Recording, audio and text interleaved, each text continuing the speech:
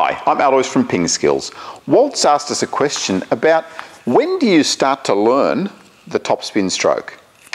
So Walt's saying that his Korean coach has been emphasising learning the open bat technique to counter backspin. So by changing the angle of the bat, lifting the ball over the net.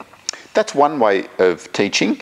Um, what I tend to do though is I tend to teach the topspin fairly early because I see the topspin as just an extension of your counter hit stroke. So we learn the basic counter hit stroke to start off with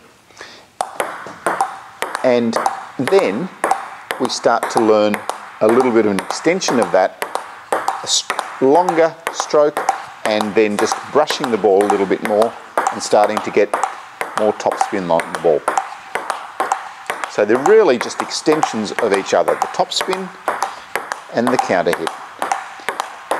So against a backspin ball, you're going to find that if you try and lift the ball with the open angle, you can do it and it requires a lot of touch, but I find the topspin is probably a more effective and safer way of doing it.